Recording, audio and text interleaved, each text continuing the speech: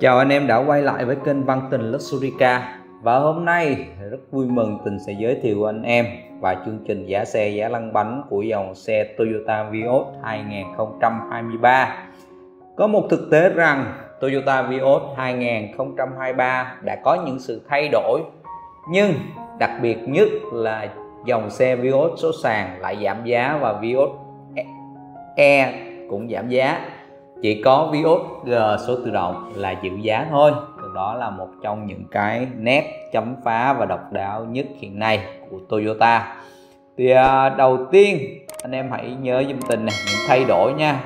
Những thay đổi trên Toyota Vios 2023 thì à, tất cả những thay đổi của tất cả các dòng xe Toyota Vios 2023 là cản trước và cụm đèn trước billet thiết kế bộ mâm đã thay đổi cũng 15 inch luôn nhưng mà đây thay đổi dạng.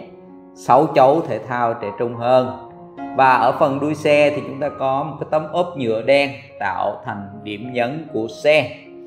Và thay đổi ở trên mẫu xe Toyota Vios 2023 đối với dòng số tự động á, là thay vì ghế nỉ ghế da màu uh, kem thì giờ chuyển về bộ ghế da màu đen có những cái điểm nhấn à, xíu xíu cho nó thể thao hơn. À, thì à, đầu tiên là về phiên bản Vios số sàn. Thì à, ngoài cái cản trước á, thì đã thay đổi cụm đèn trước từ đèn halogen thành đèn billet ừ. và thêm cái phím audio audio điều chỉnh và đàm thoại đánh tay trên vô lăng. Và có cổng sạc Type-C ở hàng ghế thứ hai đối với phiên bản Vios E số tự động cũng vậy luôn anh em nha. Cụm đèn cũng từ halogen qua bi led dạng bóng chiếu. Phím điều khiển vô lăng cũng được tích hợp trên vô lăng và cổng sạc USB Type-C cho hàng ghế thứ hai. Có luôn. Thì à, điều chỉnh nhiều nhất là Toyota Vios G. À, đã thay đổi cụm đèn từ led phản xạ đa hướng thành bi led dạng bóng chiếu. Tất cả ba dòng xe đều sử dụng một chung một cái cụm đèn anh em nha. Thứ hai là nó có cụm lẫy chuyển số trên vô lăng. Thứ ba là màn hình giải trí từ 7 inch kết nối điện thoại thông minh thành 9 inch. Và cổng sạc Type-C đã được trang bị trên Vios G luôn. Và hệ thống an toàn Toyota thì ở Vios G thì nó có cảnh báo tiền va chạm và cảnh báo lịch làn đường. Nó có hai cái bộ phận này nó tích hợp vào trong nha. Thì à, đó là những điểm nhấn của Toyota Vios 2023 thì chúng ta sẽ nhìn cái thiết kế cụm đèn thì nó đẹp hơn nó ngầu hơn ha, nó cá tính hơn rất là nhiều. Và đặc biệt nhất là nó có hình ảnh mới mẻ hơn cái này không phải là cái à, sử dụng cái à, hoàn toàn mới nhiều. Nó chỉ thay đổi những cái hàng mục nhỏ thôi không phải là thay đổi hoàn toàn mới. Thì à, có những anh em nói tại sao Toyota Vios của à, ở Indo Mã Lai thì Thái Lan thì người ta triệu hồi thu hồi không cho bán mà sao Toyota Vios ở Việt Nam vẫn bán bình thường? Thì à, mình cũng nói luôn là những Toyota Vios của thị trường nước ngoài á, là Toyota Vios phiên bản hoàn toàn mới. Hoàn toàn mới. Đó là thiết kế xe về cụm đèn mâm xe nói chung là tất tần tật là hoàn toàn mới. Còn ở Vios mình á là sử dụng khung gầm cũ của những chiếc Vios 2022 không thay đổi hoàn toàn mới. Chỉ thay đổi cụm đèn cụm cản cũng như bộ mâm và cái ốp cản sau chút chút thôi anh em. Nên là nó không thay đổi mà không bị ảnh hưởng bởi hệ thống an toàn.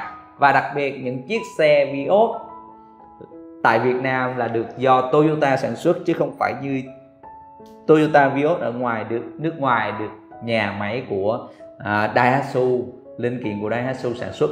Đó là một trong những lưu ý. Và sau đây tình đến giá xe và giá lăn bánh của à, tất cả các dòng xe Toyota Vios 2023 à, tại thị trường Việt Nam anh em nha. Đầu tiên là Toyota Vios E đã giảm 10 triệu giá xe của nó là 479 triệu. Và lăn bánh tại thành phố là 549 triệu và lăn bánh tại tỉnh chỉ là 530 triệu. Tiếp theo là Toyota Vios E số tự động. Giá xe nó là 528 triệu. Giá lăn bánh là 602 triệu ở thành phố và lăn bánh tại tỉnh là 583 triệu. Và cuối cùng là Toyota Vios G với giá xe không hề thay đổi. Hiện nay đang có giá bán là 592 triệu.